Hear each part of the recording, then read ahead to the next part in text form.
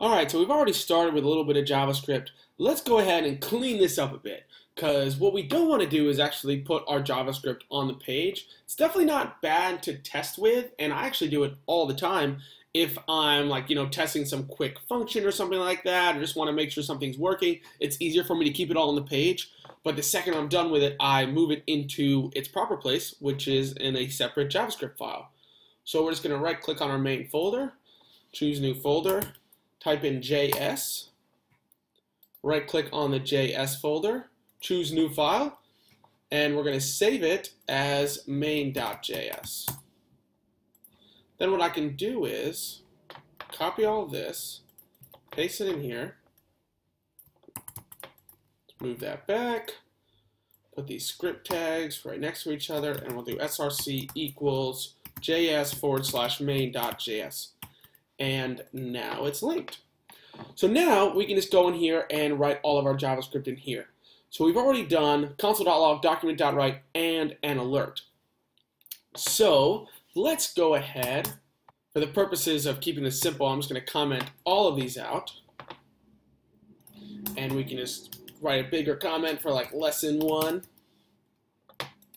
And this would actually be a good, example of when you could use that asterisk forward slash uh, for now, I'm just going to keep that forward slash forward slash because when I do my command question mark for my Mac or control question mark on a PC, it Sublime Text automatically chooses to do the two forward slashes. Let's move into something which is critical for all programming languages, which is variables. So variables are ways to save your data.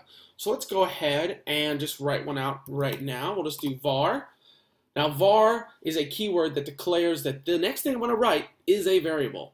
All right, num, and we're going to do prompt. What's your name?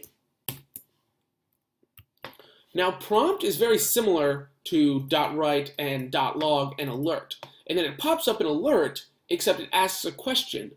And then by declaring it inside of a variable, we actually save that value. So let's go ahead and test this out. So I'm going to refresh the page. You'll notice document.write goes away. There isn't another hello world under here because all that's commented out. It's asking, what's my name? And I'll just write Matt. All right, so nothing happened, right? It's saved. So let's just mess around with this and see what we can get. We can do console.log num which prints out Matt. Let's go back into our code. You know what, let's actually change this to name. That actually makes a bit more sense. We'll do console.log name. This is connected directly to the variable. So I'm saying console.log the variable. And the variable is whatever answer we give it inside of the prompt. So I'll do Matt again press OK, and now we console.log my name down there. So that's how easy it is just to save a variable using prompt. One other thing you'll notice is that we're not using semicolons.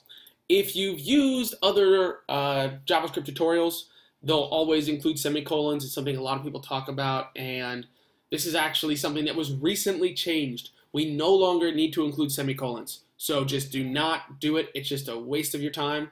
Um, some people still might claim that you need to do it. It's simply because they just don't know. Um, a lot of people don't keep updated on what's going on with uh, the changes in JavaScript, HTML, CSS. So it's really critical that you kind of stay on top of that as a programmer, just so you can know these little tiny shortcuts, um, you know, or, or bigger things also get changed all the time. So just remember, you do not need semicolons anymore for JavaScript.